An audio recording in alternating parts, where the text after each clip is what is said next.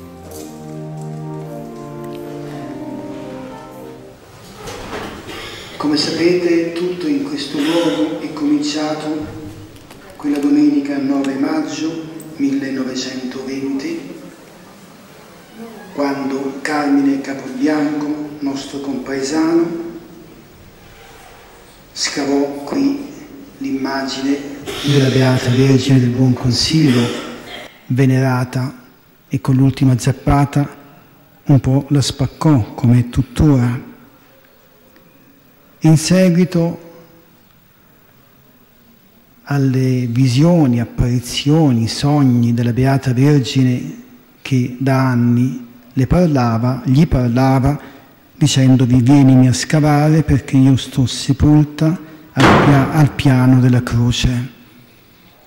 Nell'ultima apparizione sogno che ebbe il giorno precedente, 8 maggio nella chiesa di San Michele dove era per la festa, gli, gli disse ti indicherò anche il posto preciso visto che scavava ormai da anni e anzi tutti lo prendevano in giro. Ecco, venne, scavò e trovò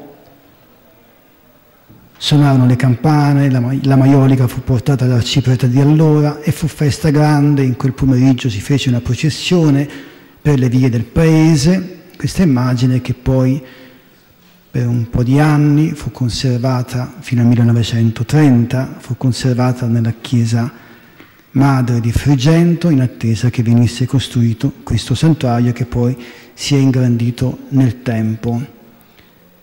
Ecco, noi siamo come l'acqua di questo fiume, diciamo così, che è sgorgato al piano della croce quel giorno, in un luogo preciso, da una persona precisa. Noi siamo, siamo come l'acqua di questo fiume che scorre, che speriamo possa farsi sempre più grande. Ecco, un fiume benefico di grazie, un luogo di grazie il piano della croce in un mese di grazie perché il mese di maggio è tutto dedicato alla Madonna. A parte la nostra festa ci sono altre ricorrenze dedicate a Maria in questo mese. Ieri la supplica alla Madonna di Pompei, tra qualche giorno la ben più famosa apparizione di Fatima, il 13 maggio, anzi sono cento anni in questo 2017 che la Madonna apparve lì e ci andrà anche il Papa. E poi ancora altre ricorrenze, in questo mese, il 24 maggio, Maria Ausiliatrice, il 31 maggio, la visitazione della Beata Vergine Maria.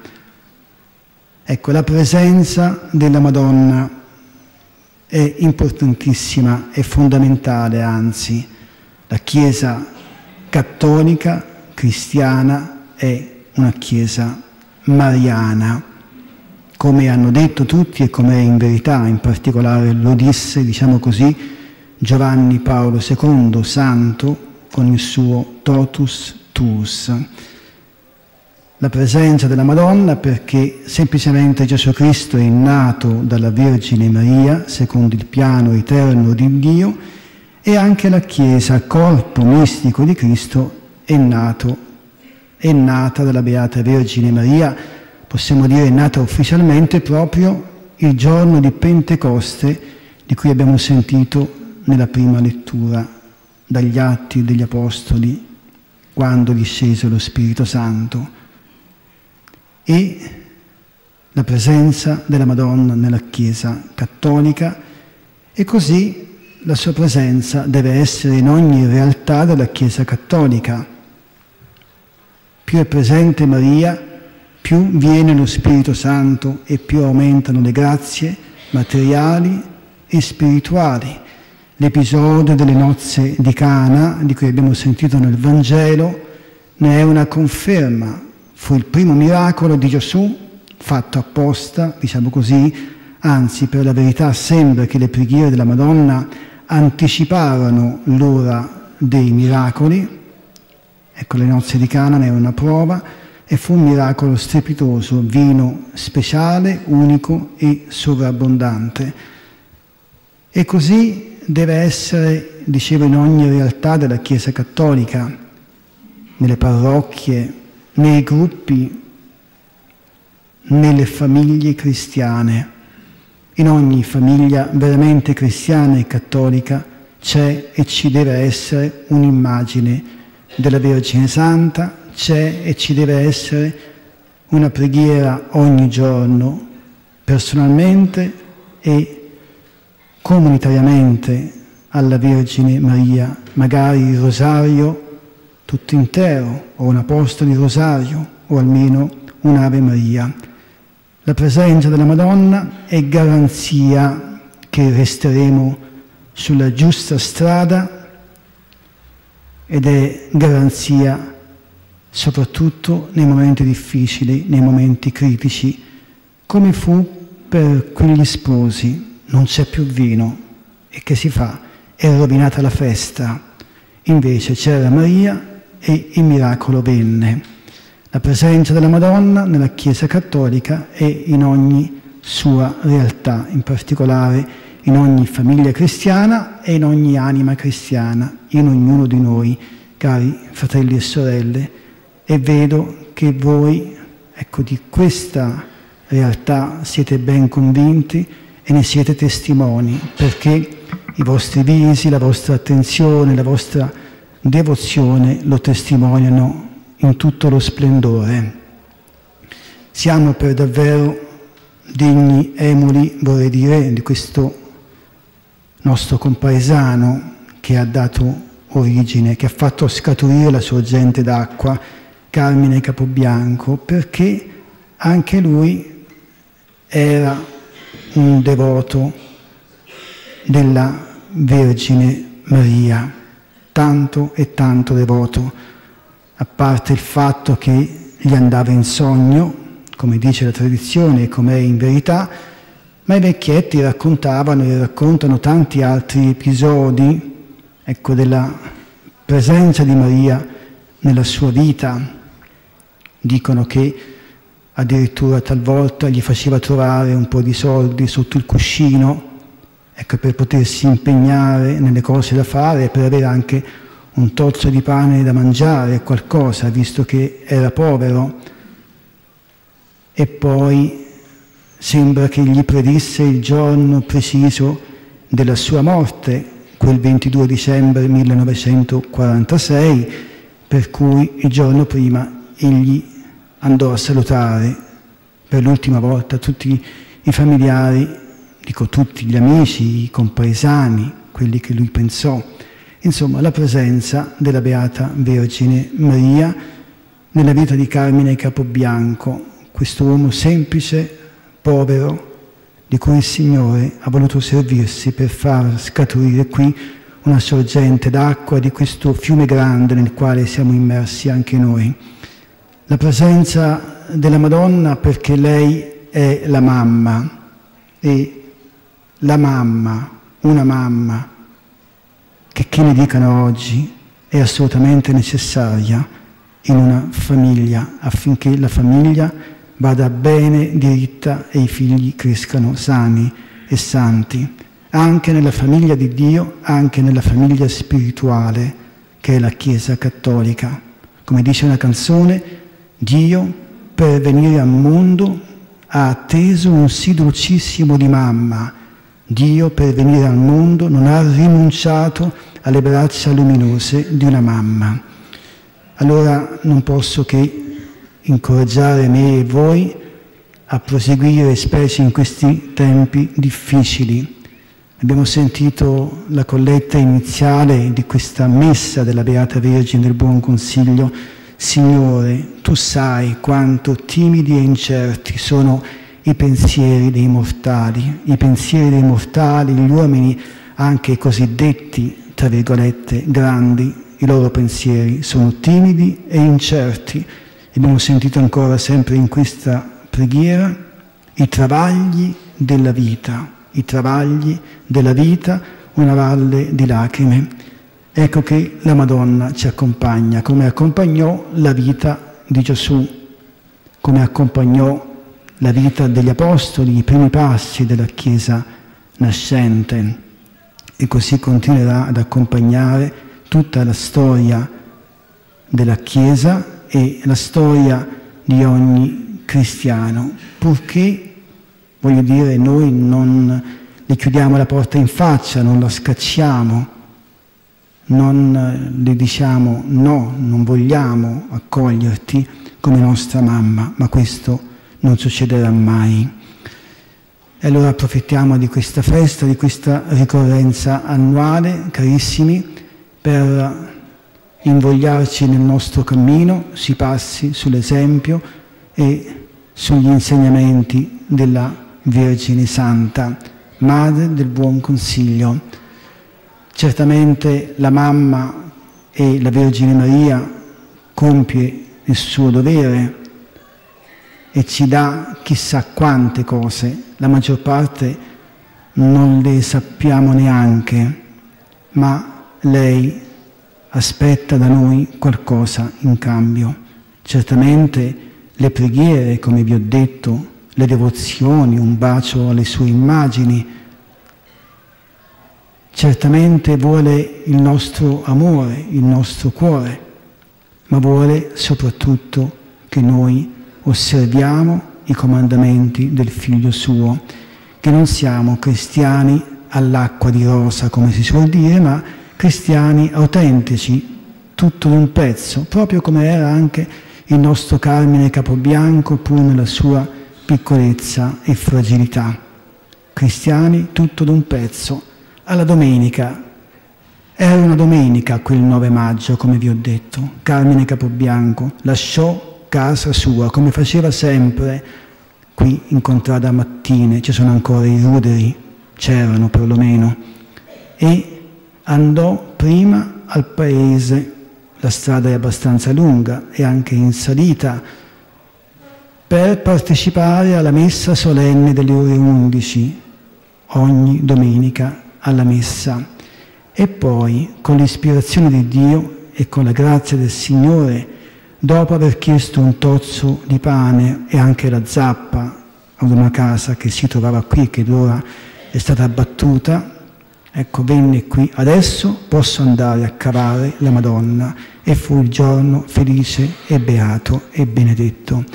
Quando si osservano i comandamenti di Dio non si ha bisogno di molto, di un tozzo di pane, ecco, e di qualche altra cosa per vivere felici e per dare agli altri, per costruire cose belle e grandi. Ecco, facciamo che anche per ciascuno di noi possano ritornare questi valori, i comandamenti di Dio. La Madonna disse ai servi, fate quello che Egli vi dirà. Gesù disse qualcosa, cioè riempite d'acqua le giare, ed essi lo fecero e venne il miracolo. Guai se i servi non avessero obbedito, non avessero ascoltato il consiglio della Vergine Santa. Sia lodato Gesù Cristo.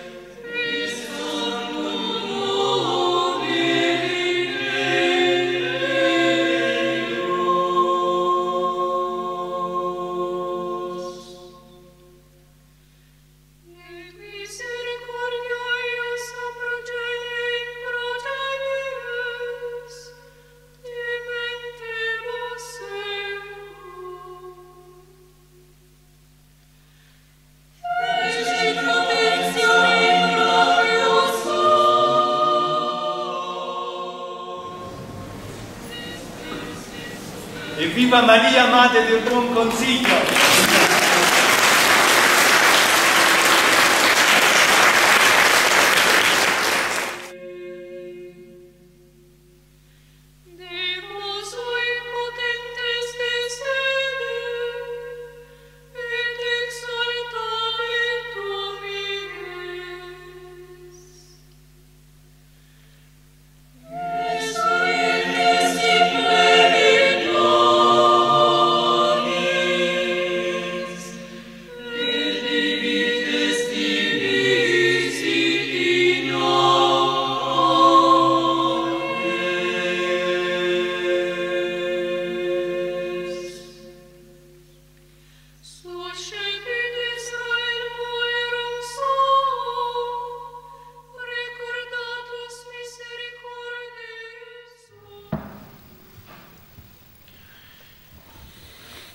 Hai moltiplicato la gioia, hai aumentato la letizia.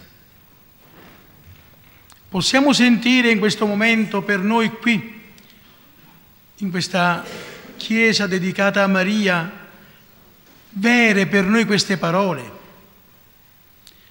Sentiamo che in questo momento in cui il Signore ci parla, la nostra gioia si moltiplica e la serenità del cuore diventa sempre più evidente a noi stessi e agli altri.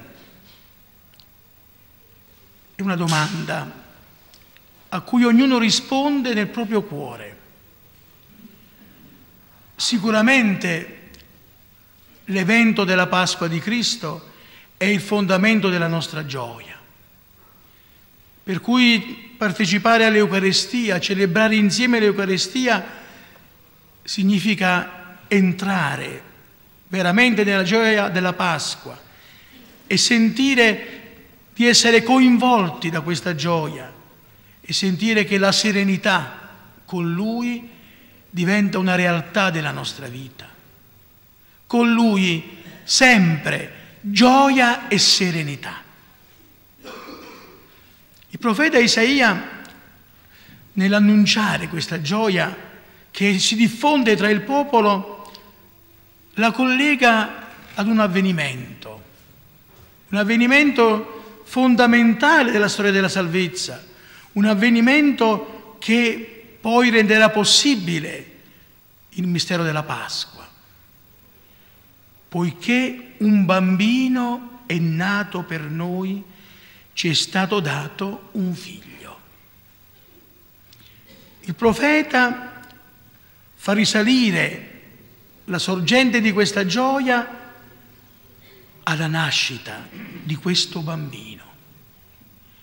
E dunque questa nascita ci riporta alla maternità di Maria. Maria Vergine, madre del buon consiglio. Tutte le icone, le immagini sacre per esprimere questa maternità trovano un elemento forte in cui la madre e il bambino sono intimamente legati. Tra le più classiche e le più significative c'è quella di Maria Santissima delle Grazie, in cui il bambino è legato alla sua mamma e succhia al suo seno il latte della nostra umanità. In questa piccola icona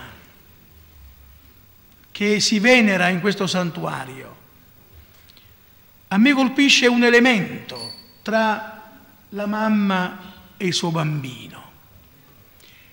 Le due guance che sembrano incollate l'una all'altra. La guancia della mamma e la guancia del piccolo, del bambino. È un modo tenerissimo per esprimere la maternità ed è un modo dolcissimo per comprendere la verità di quell'uomo Dio che è venuto in mezzo a noi. Fissatela, questa piccola icona, avvicinandovi soprattutto, perché da lontano è difficile vedere, e vi accorgerete di questa tenerezza e vi sazierete di questa dolcezza. La tenerezza della madre, la dolcezza del figlio. Ma quel bambino così tenero è l'uomo Dio.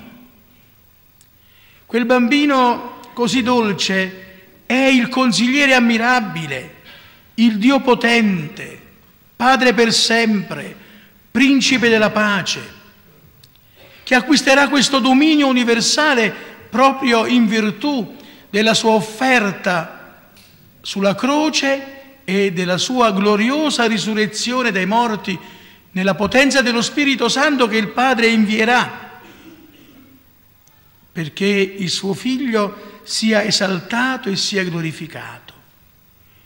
È il consigliere ammirabile. Perché? perché egli porta a termine il consiglio divino di salvare l'umanità. Egli porta a compimento la decisione eterna del Padre di avere con sé tutti i suoi figli, di averci con Lui, di farci sentire il suo amore paterno. Egli è consigliere ammirabile perché porta a termine questa decisione del Padre, una decisione meravigliosa, una decisione che suscita meraviglia, una decisione che fa aprire gli occhi sulla bellezza dell'amore di Dio. Quando Gesù, vero uomo in mezzo ai suoi contemporanei, parlava, faceva guarigioni, perdonava, scacciava i demoni, suscitava ammirazione soprattutto quando parlava. Gli si riconosceva un'autorità che non poteva essere di un uomo. Gli si riconosceva una sapienza che veniva da lontano, ma che risolveva le angosce dell'uomo. E allora la madre del buon consiglio è la madre del consigliere ammirabile, del Dio potente, che parla con sapienza e con la sapienza risolve le angosce dell'uomo.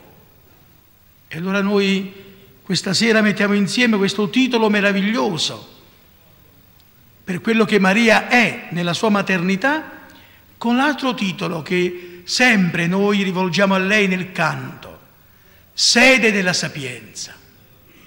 Sì, perché colei che ha generato nel mondo il consigliere ammirabile è la sede della sapienza. La generazione del figlio ha fatto di Maria donna sapiente,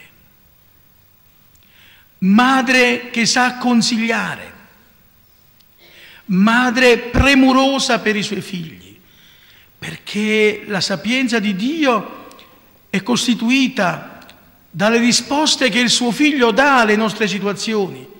E chi fa delle risposte di Cristo un'azione della sua vita, una scelta del proprio agire, è sede della sapienza.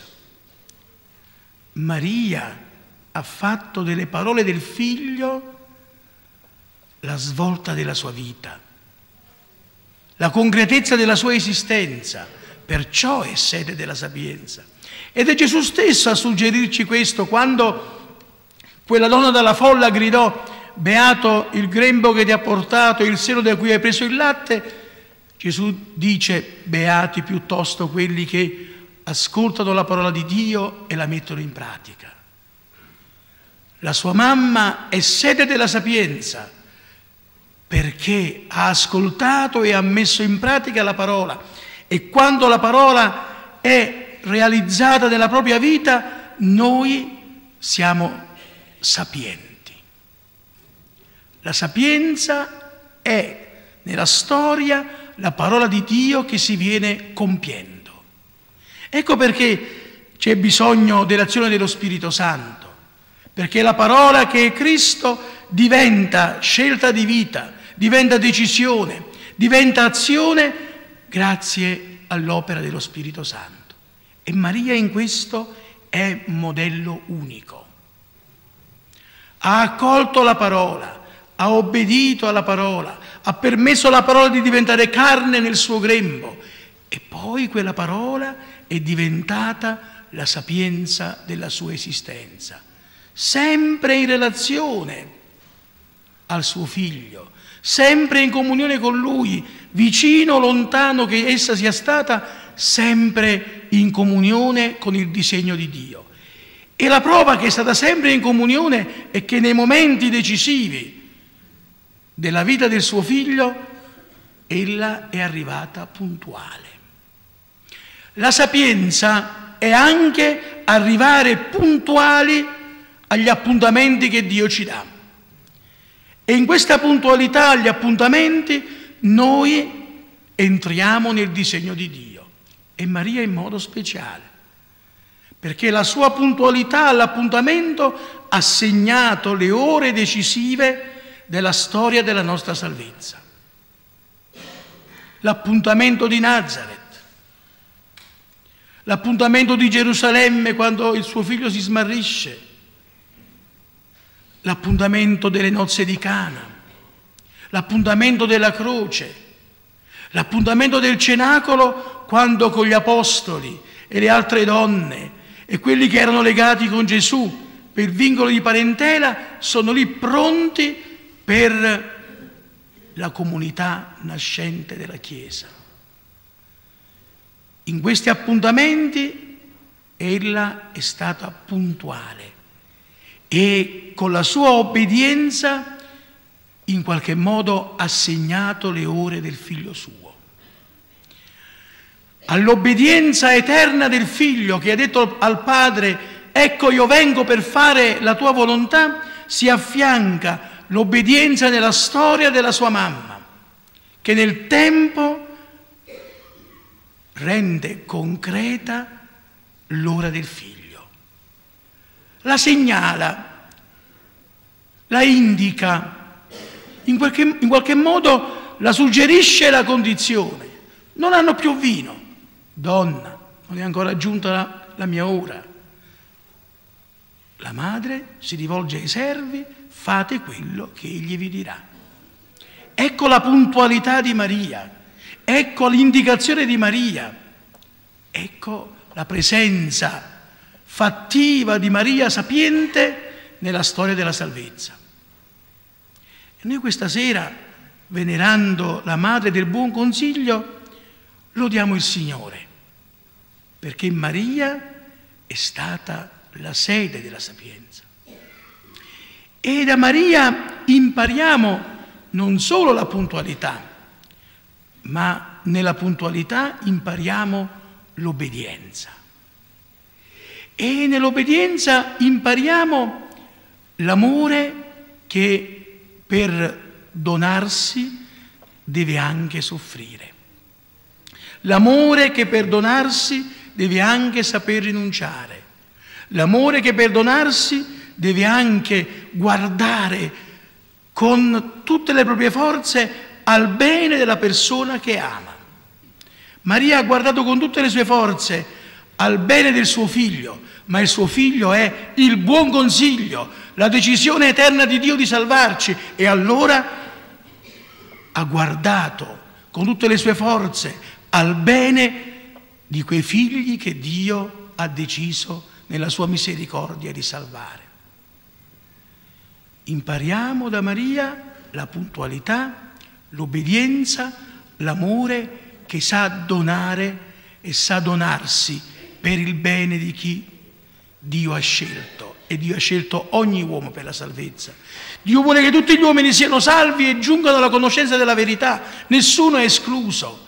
Per cui gli occhi del Redentore hanno già scrutato tutti gli uomini e gli occhi della madre puntualmente nel tempo vanno a sollecitare i cuori di quei figli che sono già stati raggiunti dall'amore di Dio e non ne sentono ancora la forza, che hanno già ricevuto il dono di grazia e non hanno ancora il, corra- il coraggio di collaborare al dono di grazia. Noi qui, tra quali figli siamo? Tra quelli che hanno il coraggio di collaborare al dono di grazia e allora lo sguardo di Maria diventa un abbraccio materno. O siamo di quelli che ci tiriamo indietro e ancora dubitiamo allora gli occhi di Maria ci inseguono, ci inseguono dovunque siamo, perché dobbiamo finalmente fare il nostro atto di coraggio e lasciarci abbracciare da quegli occhi materni per entrare pienamente nella salvezza di Cristo. Maria è madre della Chiesa. Lì, nel cenacolo, mentre si attende lo Spirito Santo, lei che ha accolto dalla croce l'ultimo comando, donna, ecco tuo figlio, obbedisce ed è puntuale nella nuova maternità, la maternità verso tutti i redenti.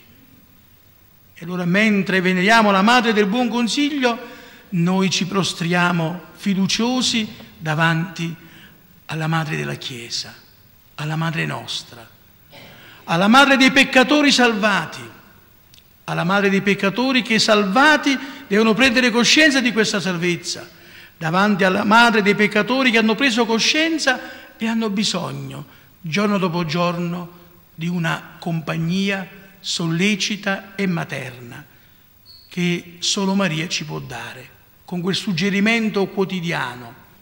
Oggi è l'ora in cui tu incontri Gesù mio figlio. Ascoltalo. Oggi è l'ora in cui mio figlio dà ancora una volta la vita per te. Gioisci. Oggi è il giorno in cui tu sei salvato dal suo amore, impara ad amare. Amen.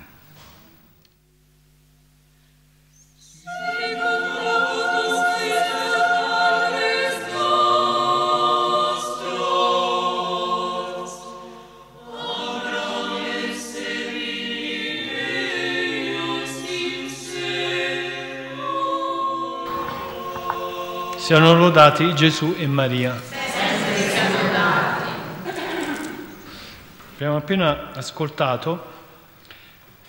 Gesù dice, dice, io sono venuto nel mondo come luce, perché chiunque crede in me non rimanga nelle tenebre.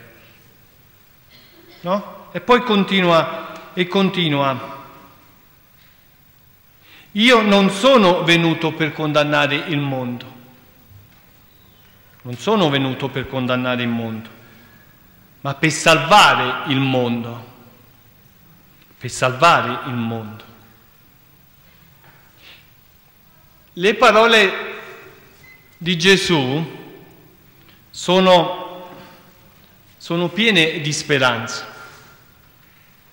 Abbiamo un Dio un Dio che, che è padre, che per non farci rimanere nelle tenebre ci ha mandato suo figlio, suo figlio, come luce, il quale viene, viene per salvare e non per condannare, e non per condannare viene per dare la sua vita per, per noi, per noi, noi misere creature, no? Per ciascuno di noi. Non per condannare, ma per salvare il mondo. E con, e con un velo di amarezza che comprendiamo che cosa? Comprendiamo cosa vogliono, vogliono in, intendere quando dice che chi lo respinge e non accoglie le sue parole ha già chi lo condanna, ha già chi lo condanna. Chi rifiuta e non accoglie le mie parole a chi lo condanna.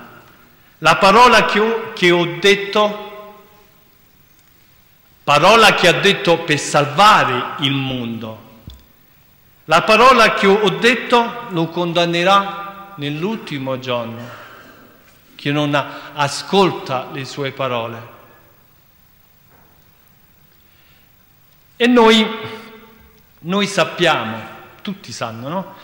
per esperienza, che il peccato, la lontananza da Dio, la rottura della relazione con Dio, porta a che cosa? Porta già in sé, porta già con sé la sua pena, è già un inferno qui in terra. È una pena è una pena fatta, fatta, fatta di tristezza,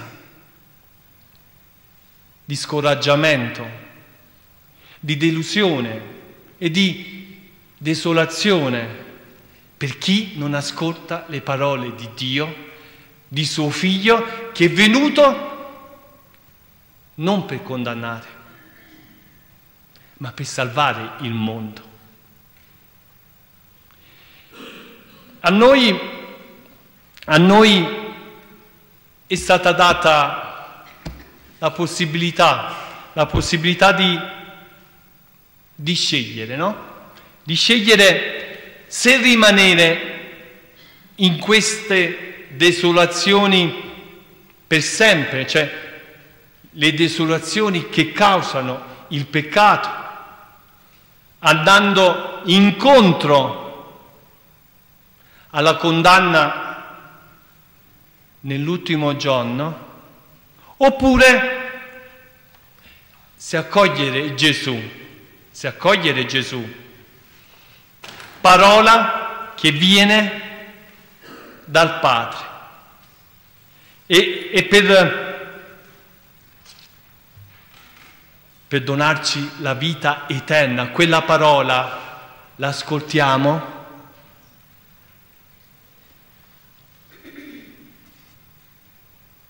la mettiamo poi in pratica nella nostra quotidianità. E quella parola ci dà la vita eterna. Perché appunto Gesù non è venuto per condannare il mondo, ma per salvare il mondo. Ascoltando la sua parola,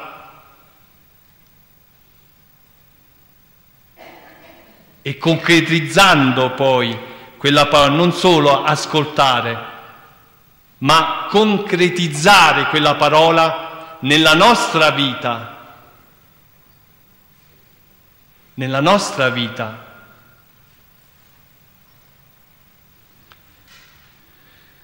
Non si tratta di,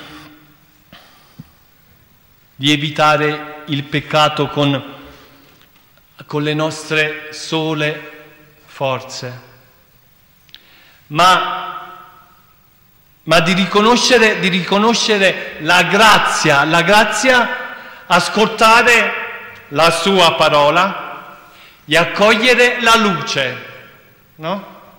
Accogliere la luce, ascoltare la sua parola, aprirsi alla sua grazia alla sua grazia. Per salvarci. Io sono venuto non per condannare, ma per salvare. Quindi sta a noi, sta a noi. Aprirsi alla grazia, ascoltare la sua parola. E metterla in pratica per avere la vita eterna.